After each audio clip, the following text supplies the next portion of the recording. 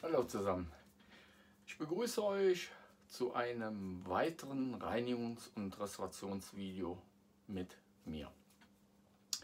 Ja, hatte heute mal ein wenig im Keller aufgeräumt, habe wieder ein paar Sachen gefunden. Ich habe ja auch noch Altfunde von meinen Folgen, die ich noch reinigen muss, weil bald ist Fundabgabe und da sollten die Sachen einigermaßen alle vorgereinigt sein oder wenn es geht, auch schon restauriert abgegeben werden. So.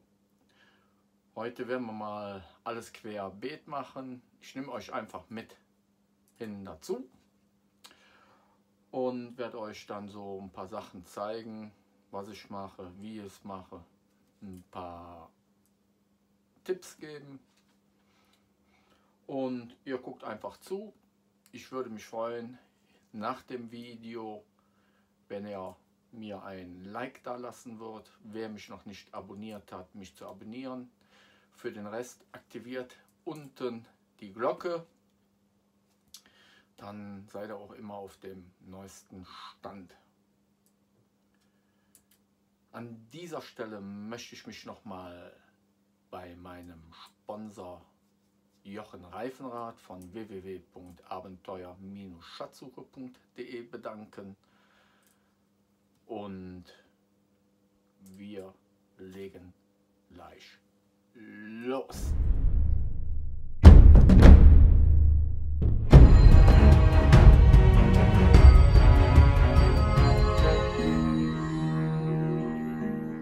So, da bin ich wieder. Und ja, ihr wolltet ja immer aus meiner Folge sehen, wenn ich die Haarnadel fertig reinige. So, heute machen wir mal die Haarnadel und währenddessen werde ich euch heute auch noch mal den äh, Silberreiniger zeigen, wie er arbeitet und agiert. Wir werden heute ein paar Münzen dazwischen durch machen. Ich habe hier ein bisschen gebrauchten Silberreiniger, so dass ihr das seht. Also ich äh, nehme nicht immer neun. Kann man es so, warte, ich tue mal äh, am besten, ja, so könnt ihr sehen. Das ist gebrauchter Reiniger. Und wir werden jetzt mal eine Silbermünze, eine ältere, ein Silber Pfennig einlegen. Oder ich habe sogar zwei, aber einer wird ja erstmal reichen, so dass ihr seht, wie, wie das Ganze wird. Hier ist der Silberpfennig. So, ich ziehe mal meine Handschuhe mal richtig an. Ich hatte die gerade nur ausgehabt wegen meiner Kamera. Oder viel mehr Kamera, wegen meinem Telefon. So, den werden wir jetzt machen. Und wir werden heute ein 10 Pfennigstück aus den Kriegsjahren reinigen. Und ich werde euch zeigen, dass das auch mit dem Reiniger geht und vor allem, dass die Patina an dieser Münze erhalten bleibt. So, wir legen das jetzt ein. Welche nehmen wir? Wir nehmen die, die ist am dreckigsten. Die legen wir jetzt schon mal ein. So, und lassen die jetzt erstmal drin. So, und jetzt die Haarnadel. Hier ist die Haarnadel. So, und ich hole euch ein bisschen weiter nach vorne. Ich hoffe, dass das gut im Bild ist. Ja, so, und dann fangen wir an. Ich werde nachher wieder auf Schnellvorlauf machen, um dass ihr dann seht, wenn es fertig ist. Also jetzt starte ich den Schnellvorlauf.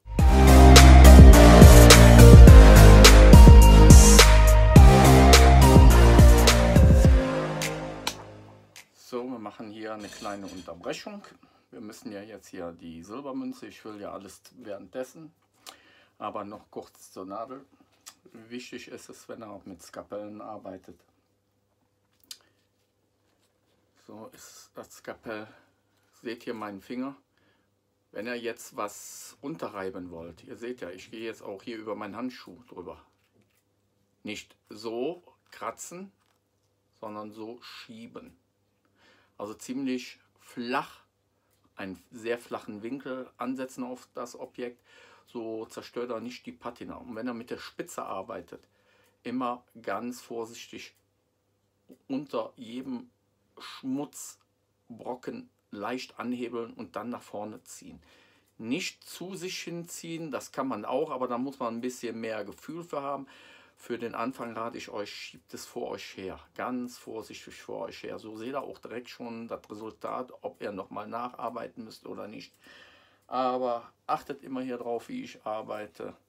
Dann seid ihr euch. So, jetzt werden wir die Silbermünze, also machen wir euch wieder mal nach unten. Und die müssen wir ja auch Stück für Stück reinigen. Jetzt legen wir erstmal die Nadel wieder so lang ins Wasser. Ich werde ja auch immer gefragt, ob ich meine Sachen ins Wasser einlege. Also ihr seht ja, die Nadel, die kommt bei mir auch immer wieder ins Wasser. Und so sollte das sein. So, jetzt werden wir hier, ich glaube, so kann man es ja besser sehen. So, wir werden jetzt die Münze mal rausholen. Mit einem Q-Tip schon mal vorreinigen. Die muss bestimmt noch mal rein, weil die hat sehr extreme Anhaftungen. Und dann geht es weiter. Ich werde euch auch hinter zeigen, dass es der Münze eigentlich nichts macht. So, die Seite ist ja schon fast sauber. Aber man muss auch bei diesen Münzen ab und an bei sehr starker Verkrustung etwas länger drin lassen. Also ihr müsst darauf achten, wenn es reine Silbermünzen sind, könnt ihr das. Bei Bilon, bei Kupfer, Bronze solltet ihr immer den Reiniger 1 zu 10 mit destilliertem Wasser mischen. Ganz wichtig. Und immer die Einlegezeit zu Anfangs bei solchen Objekten, wo ihr euch nicht sicher seid, nie länger als wie 20 Sekunden. Ausholen, so wie ich es mache, gucken, abreiben, schauen. Geht da noch was? Was passiert? wenn ihr ein Mikroskop habt oder so ein Stereoskop wie ich hier habe. Mal kurz nachschauen, wie der Reinigungszustand ist. Hier bei der Münze kann ich ganz gut erkennen, hier muss ich mal ein wenig nachhelfen. Hier sind sehr starke Verkrustungen drauf. Die kann ich zwar über die Einlegezeit lösen, aber hier so vorsichtig mit einem spitzen Skapell kann ich schon den größten Schmutz anhebeln. Dann geht das schneller. Man ist eigentlich auf der sicheren Seite. Wer sich das natürlich nicht zutraut, eben einfach die Einlegezeit verlängern, weil dann geht das auf jeden Fall. Ich möchte jetzt das hier so gut wie möglich machen, euch zeigen. Ich werde das jetzt auch wieder im Schnell Modus laufen lassen und euch hinterher zeigen, wenn es fertig ist. Weil sonst äh, werden die Filme einfach zu lang. Auch wenn ich das im Schnellmodus durchlaufen lasse. Also habt ein bisschen Verständnis, dass ihr nicht jetzt jeden Handgriff von mir äh, in normaler Geschwindigkeit seht. Aber ich erkläre euch immer was dazu. Also ab jetzt wird es schnell.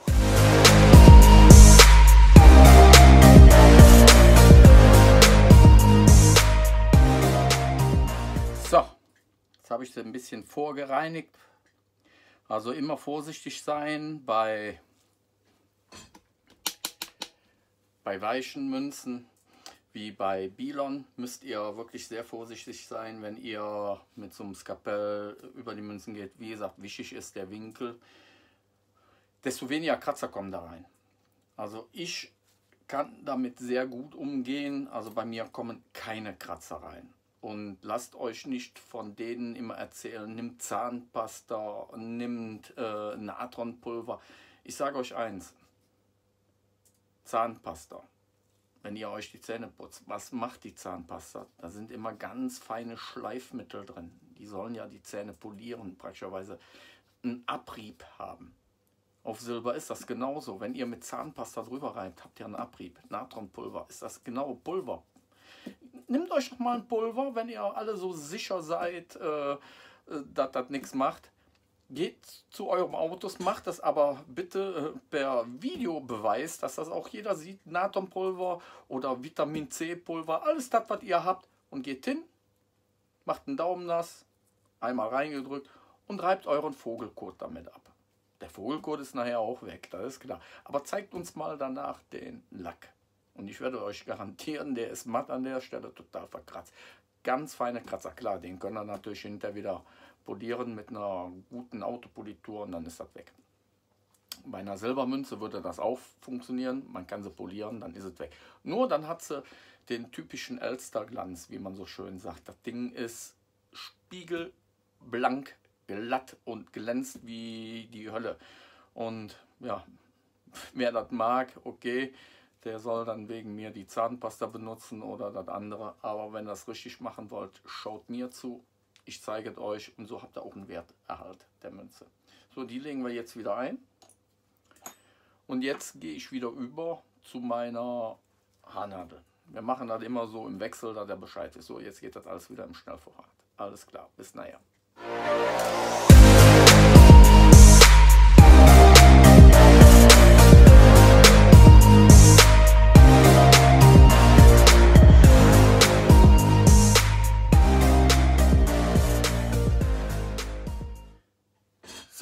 Lege die erstmal jetzt beiseite und werde wieder mich der Silbermünze widmen. So. Na, komm raus.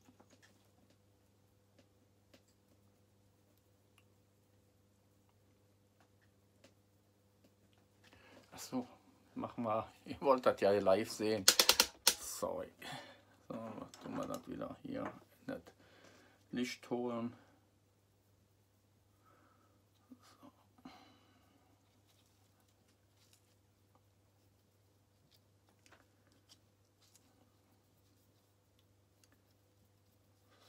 sollte sie fertig sein oder ich muss noch mal unter dem Stereoskop gucken. Wir nehmen jetzt noch mal zur Hilfe so eine Prothesenzahnbürste, weil die sehr punktuell reinigt und nicht über die ganze Münze geht, also wirklich in die Zwischenräume der Münze, die ist vorne ziemlich spitz. Die kann ich euch nur empfehlen. Also so eine richtige spitze Zahnersatzbürste.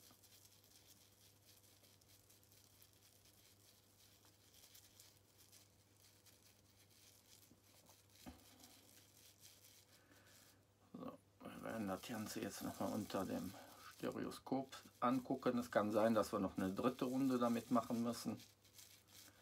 Aber dann sollte es eigentlich fertig sein. Und dann werden wir die 10 Pfennig einlegen. Die Reichspfennig, glaube ich, sind Reichspfennige. Ja. So.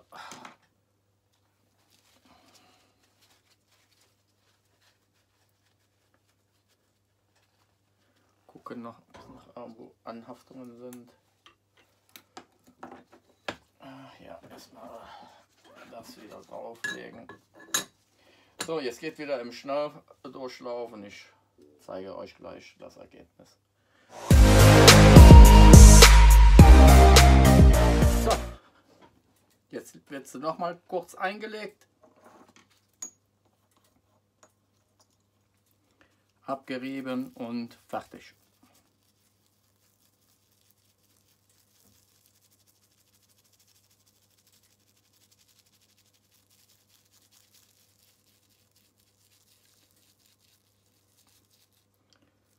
So, unter Wasser neutralisieren, ganz wichtig. Das gilt für alle Sachen. Wegen, sonst agiert der Reiniger weiter.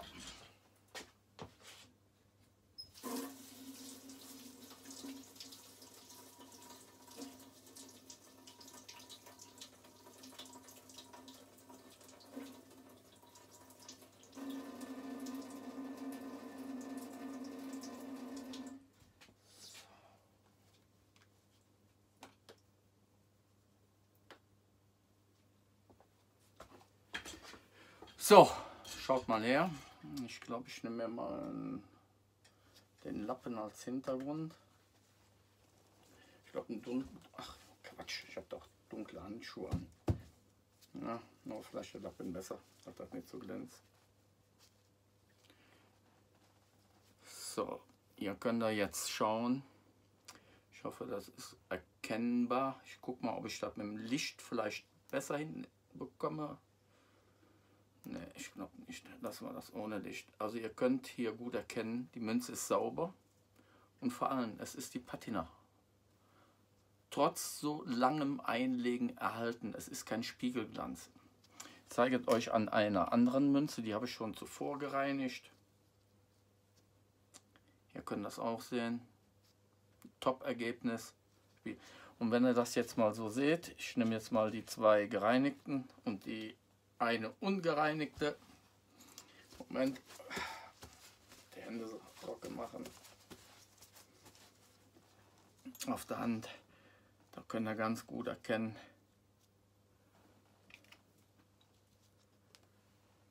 vorher, nachher. Und die Münzen, die haben alle einen leichten grünen Span noch dran gehabt. So, die mussten zwar ein bisschen angelöst werden, ganz vorsichtig, aber ihr seht, tadellos sauber, ohne die Münze zu beschädigen. Okay, die zwei haben wir fertig. So, jetzt geht es um den Kameraden hier. So, den legen wir ein. Ihr werdet sehen, in dieselbe Flüssigkeit, die ihr seht, legen wir ein und lassen das Ganze einziehen. Und ich zeige es euch gleich. Jetzt werden wir wieder uns, werden uns wieder der Haarnadel widmen. Also bis gleich.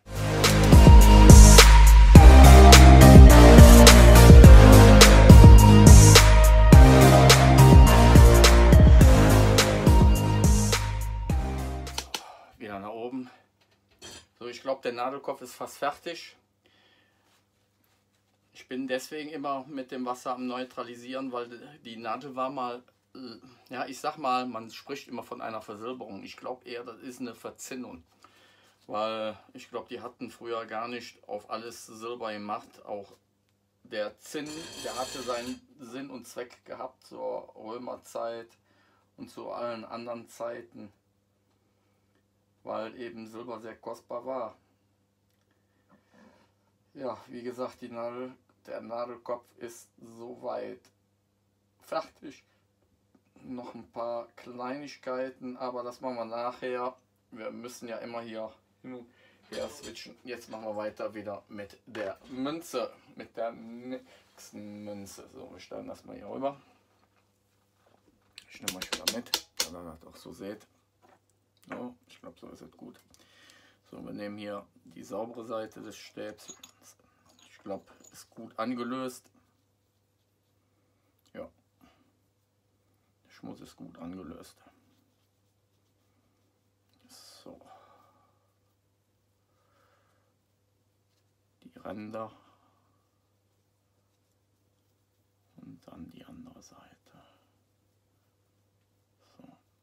Jetzt nehmen wir wieder unsere Zahnbürste. Und ich glaube, das ist schon fertig mit dem Teil. So. Das gucken wir gleich unterm Stereoskopen, dann kann ich sagen, ob noch eine zweite Runde rein muss.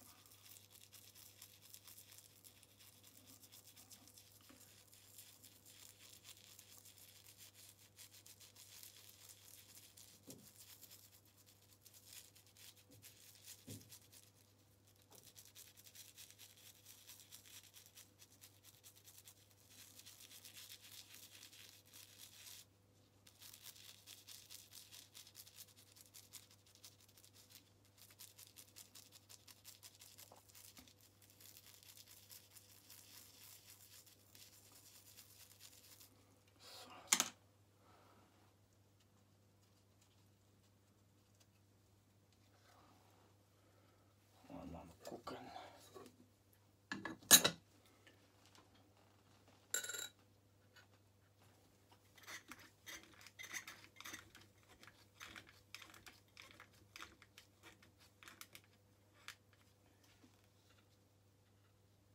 Ja.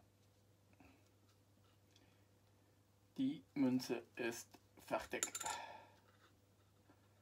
Hier muss nichts mehr gemacht werden. Alles klar. So, ich zeige es euch jetzt.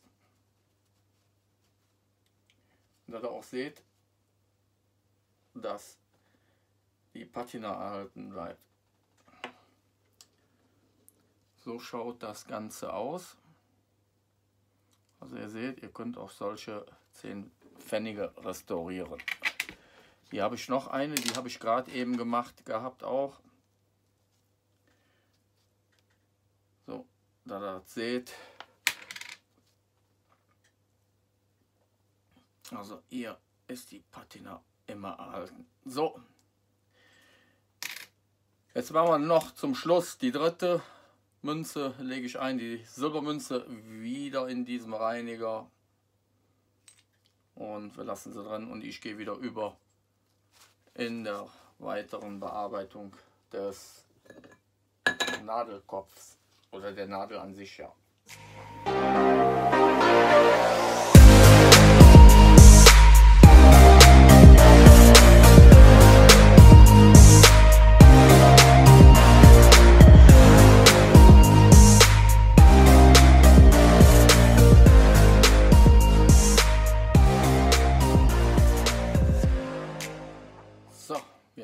Weiter mit der Münze.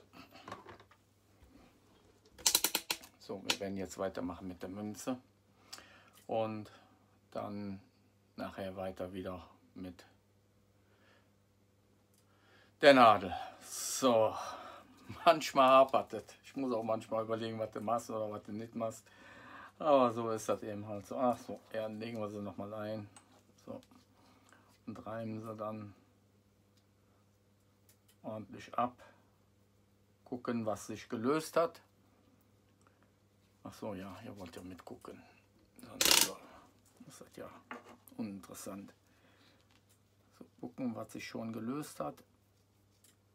Den Rest wieder kurz unter dem Stereoskop anhebeln und dann müsst ihr die nicht so lange drin lassen.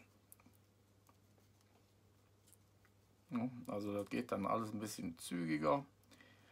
Die sich das nicht zutrauen, wie gesagt, eben länger drin einliegen lassen. Immer rausholen, ein paar Minuten abreiben und wieder einlegen, bis das gewünschte Ergebnis erzielt worden ist.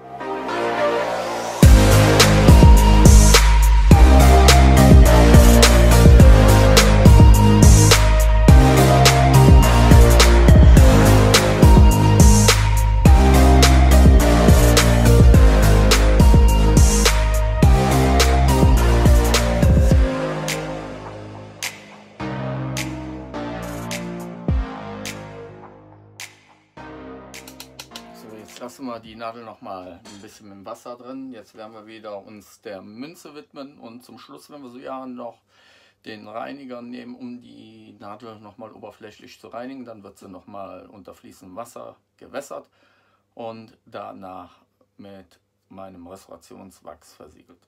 Also wie gesagt, lasst euch nichts erzählen.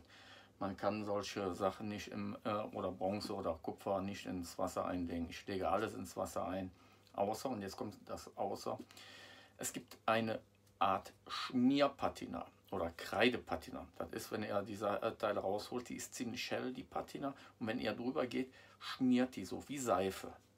So, die ins Wasser einzulegen, ist natürlich tödlich.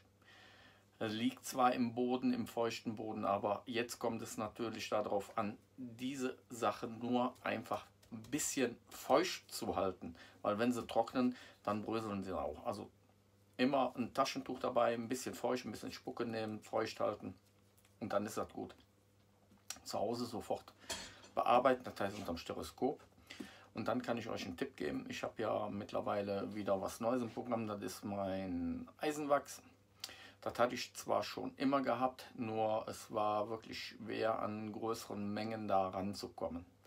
Und wenn ihr oder die es schon haben, ihr macht, geht einfach anders davor. Ihr dürft eigentlich mit dem Eisenwachs keine Bronze machen. Warum? Kann ich euch ganz gut erklären. Wenn ihr damit Bronze äh, versiegelt, gibt es immer einen milchigen, äh, milchigen Ton und es wird eben dunkler, weil es eben für Eisen ist. Es hat einen anderen Schmelzpunkt, es hat einen anderen Härtegrad Und das ist eigentlich optimal für Eisen. Es dringt bis in den Kern ein, es härtet und bindet vollständig hart ab. Ihr könnt die Oberfläche polieren und gut ist. Es gibt einen Spiegelglanz hinter, fast wie so ein Spiegelglanz.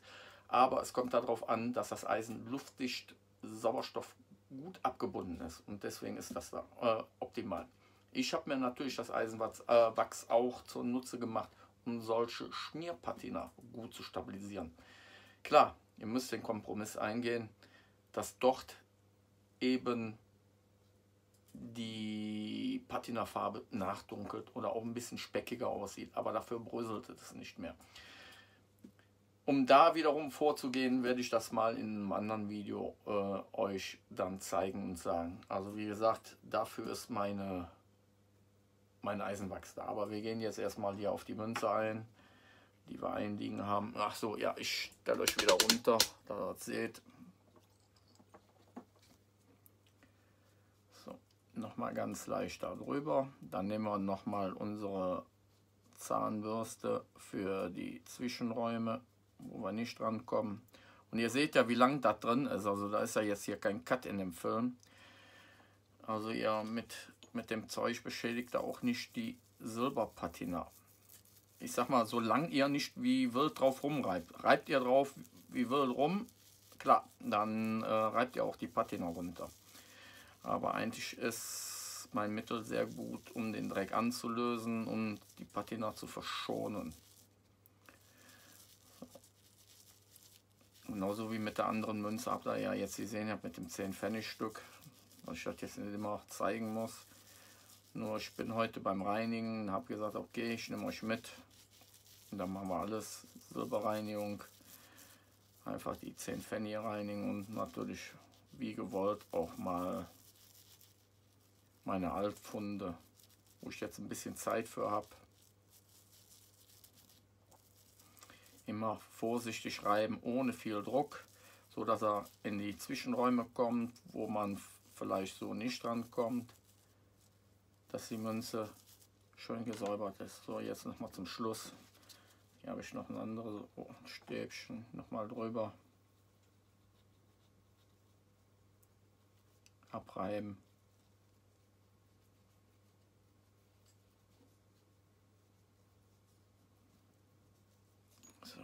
Abtrocknen und dann mal gucken, wie es ausschaut.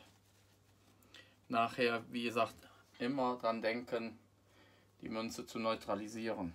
Ansonsten agiert der Reiniger weiter und das ist nicht gewollt, glaubt mir. So macht ihr dann die Oberfläche kaputt.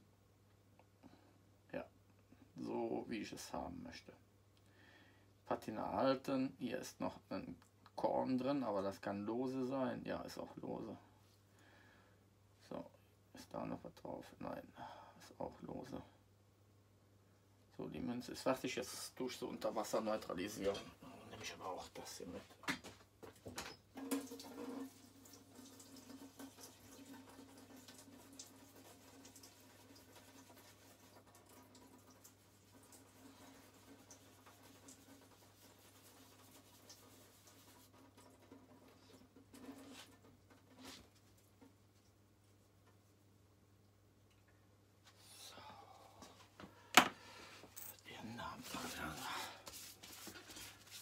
mal die ganzen Münzen für euch in die Hand.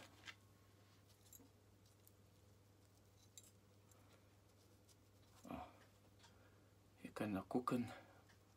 Die Pfennige sind, sind Mittelalterpfennige. Sind top. Fertig. So, die haben wir fertig.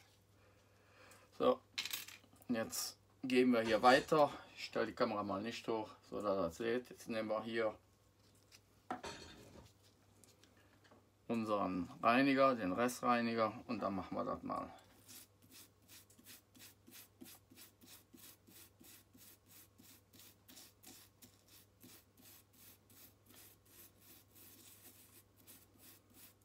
Wichtig ist nachher natürlich die Bronze zu spülen. Ne?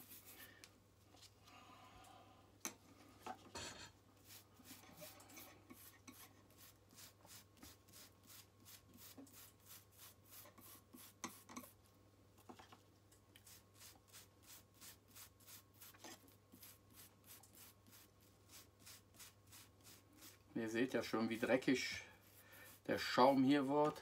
Ich meine, gut, das ist jetzt natürlich auch dem Reiniger geschuldet, der jetzt in dem Gläschen war, der ist ja auch dreckig. Aber ihr könnt mir glauben, hier geht jetzt noch der restliche Dreck runter. Und das, was ich jetzt hier mache, ist mit unverdünnter Flüssigkeit. Also macht ihr das bitte nicht nach. Ich wollte euch das zeigen, das geht natürlich auch, nur ihr müsst schnell arbeiten. Ich habe euch ja immer was von Einlegezeiten gesagt, so, der restliche drüber.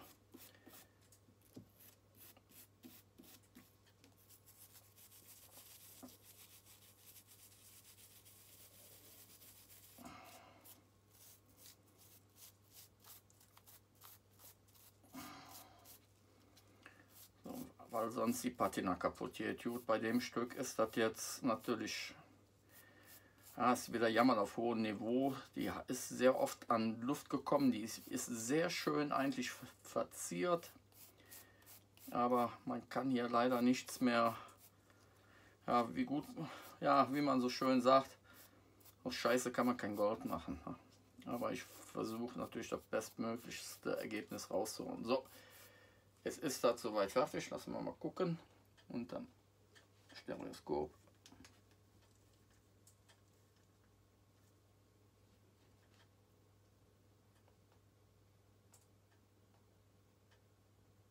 Ja.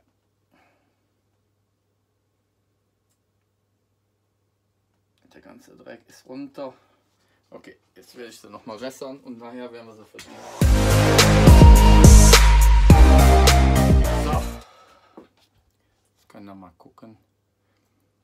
Ja, Nadel hat schöne Längs- und Queröllenverzierung, da wo noch die Patina sehr gut intakt ist. Aber ihr seht ja selber, durch den Flug und durch den Sauerstoff ist die mal in die Oberfläche gekommen und dadurch abgebröselt. Also man kann, wie er sagt, nur das hier eigentlich machen, was ich gemacht habe, richtig reinigen und jetzt gleich das konservieren. Aber zuerst räumen wir hier mal ein bisschen auf. Weil das brauchen wir jetzt ja gar nicht mehr alles hier. Wichtig ist mal, wenn ihr was angefasst habt mit dem Reiniger, mal nur drüber zu gehen. Ansonsten ist das alles okay so. So. Dazu, dazu. Das, das, das, das. So, und die Bürsten, die kann ich hier ausspülen.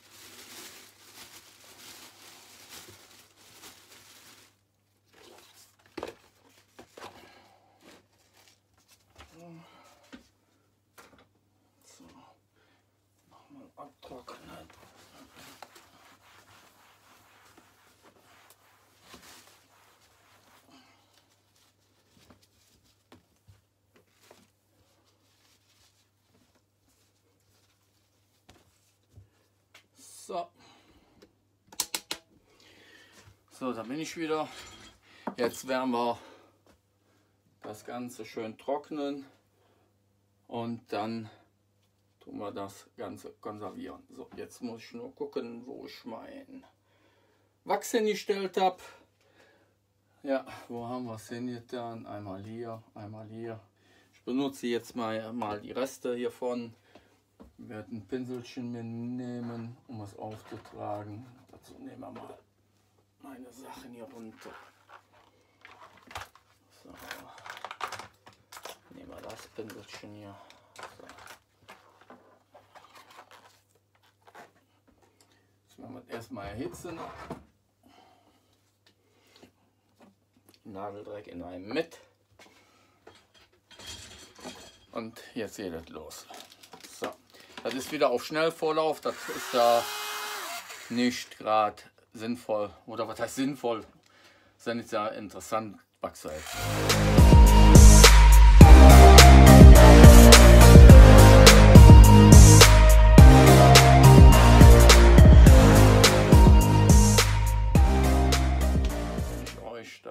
mitnehme. Ja, wie gesagt, nochmal hier die zwei 10 Pfennigstücke. Seht ihr, wie top sauber die geworden sind. Und nicht glänzend oder so äh, porös, wie es mit anderen Reinigern passiert oder wenn er da drüber schrubbt, wie wird. Genauso wie jetzt hier die Silbermünzen. Ja, die haben noch leicht ihren ihre Patina, aber wenn nicht, kann, man, kann ich Ihnen euch auch noch mal zeigen, wie das aussieht, wenn man sie patiniert. Kann ich das, ja, soll man das jetzt machen? Ja, hier machen wir das jetzt. Zeige ich euch das auch noch mal. So. Hier erstmal eine Patina. Ich habe sie natürlich im anderen Fläschchen erstmal getrüttelt, ne, wenn ihr so lange stehen gelassen habt. So muss ich natürlich die Handschuhe wieder anziehen. Nehmen wir ein paar andere Handschuhe. Nehmen wir das Gläschen drin. So. Einmal und zweimal.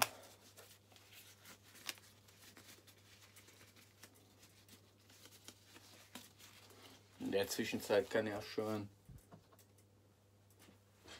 Ganze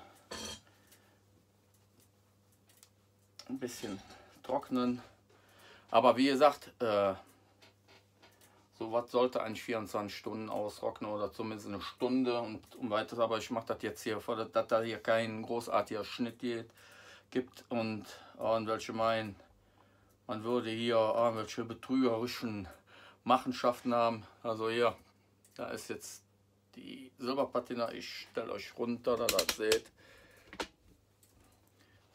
Wir nehmen eine Münze, egal welche hier, die und rein damit und dann sofort neutralisieren. So.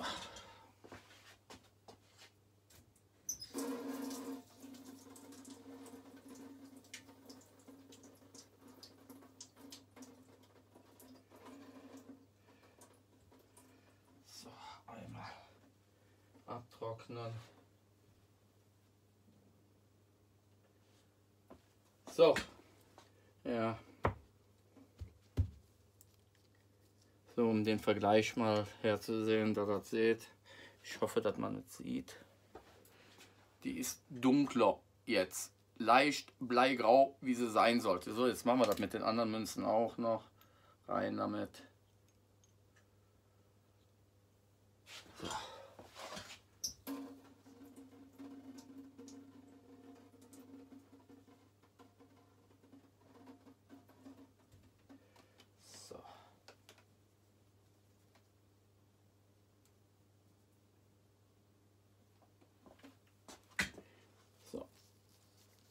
Hier die nächste. So, jetzt kommt die letzte rein. So, das reicht schon.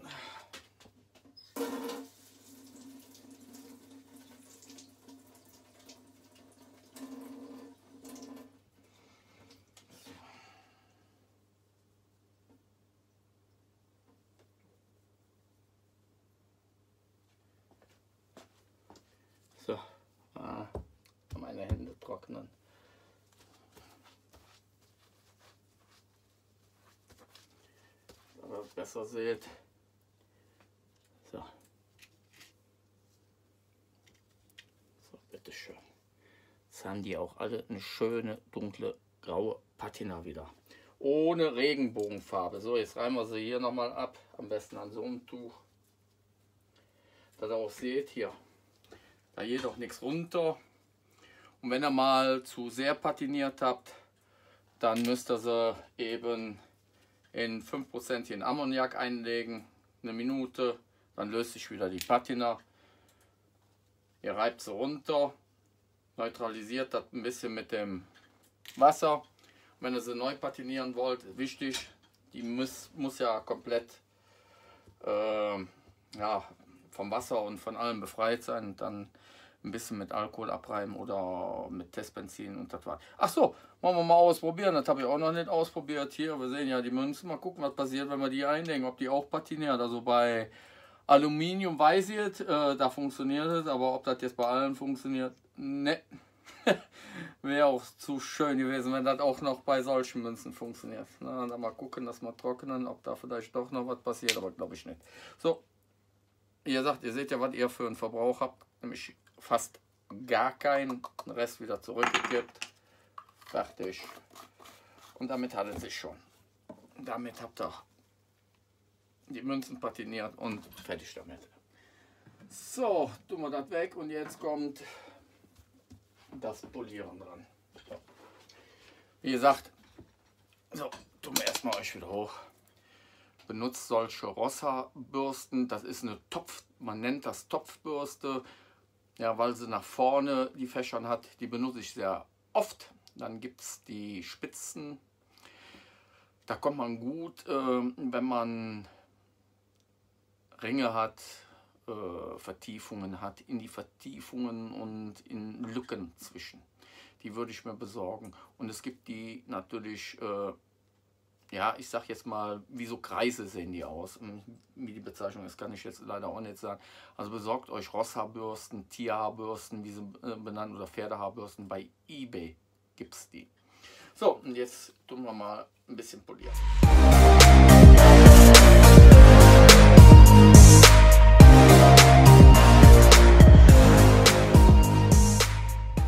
So, ich hoffe, dass man das gut erkennen kann. Ich mache noch mal eins mit Licht, aber ich werde auch hinterher Fotos davon machen.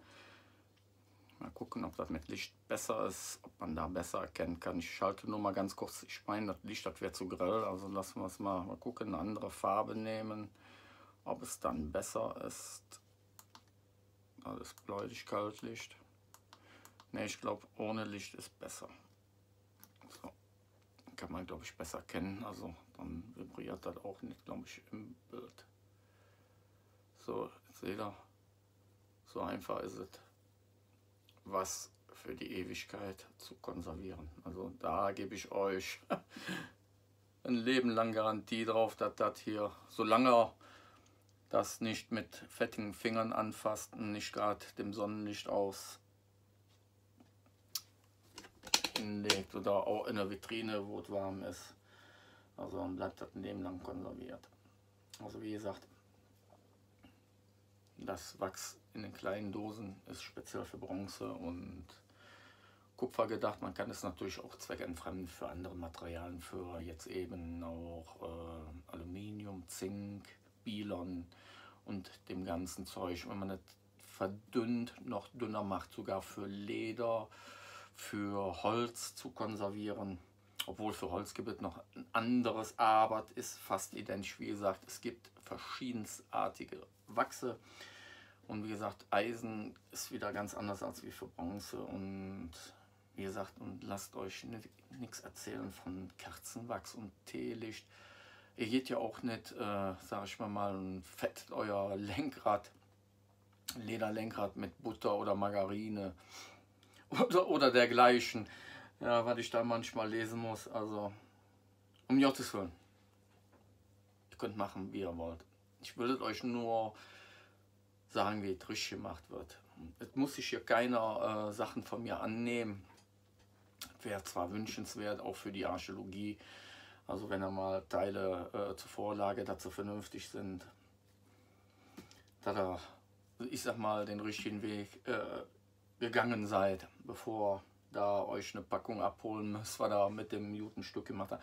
Und später mal werdet ihr mir danken, also auch die neuen. Also ich hatte da letztens wieder was gelesen und da hat sich einer ganz tierisch drüber aufgeregt gehabt, weil ich mir gesagt habe, er sollte die Finger davon lassen von der Zahnpasta und wenn man irgendeinem was erklärt, gerade ein Neuling, dann sollte man sich äh, schon, äh, ich sag mal, fachkundige Rat holen. Auch den Leuten sei gesagt, äh, die sonst immer die Tipps geben, ist ja alles schön und gut und das ist auch toll, so muss es auch sein, anders lernt man nicht. Aber schnappt nicht so viel von Leuten aus, die, ich sag jetzt mal, um Gottes Willen, ich will da keinen zu nahe treten, die 1, 2, 3 oder 5 oder 10 Jahre da Topi machen und ihre Funde, was weiß ich, auf die ja, am teuerlichsten Methoden reinigen oder restaurieren. Also wie gesagt, ich mache das schon weit über 30 Jahre, die jetzt schon fast auf 40 Jahre an. Und ich kann euch sagen, ich habe zu Anfang auch meine Fehler gemacht. Ich mache sie heute noch. Das habt ihr am Video gesehen. Ihr habt Bronze äh, patinieren. Da habe ich mich äh, bei einer chemischen Zutat verrechnet gehabt. Aber das muss ich mir auf meine Kappe äh, setzen, die Dummheit. Kommt ja auch immer die Frage, wann kommt jetzt das Mittel raus?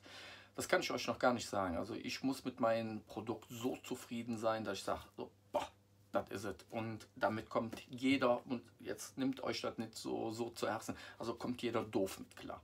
Und so muss es sein. Jeder Idiot muss das anwenden können. Und wenn das hinterher in die Hose geht, dann ist das die Weine wieder groß. Und äh, und da habe ich wirklich keine Zeit und keine Lust zu, wenn ich sowas mache, dann muss es schon 100% sein. So. In dem Video sind jetzt wieder alle meine Reiniger und meine Konservierungsmittel vorgekommen. Das heißt also das Restaurationswachs von mir, die Silberpatina genauso wie der Silberreiniger.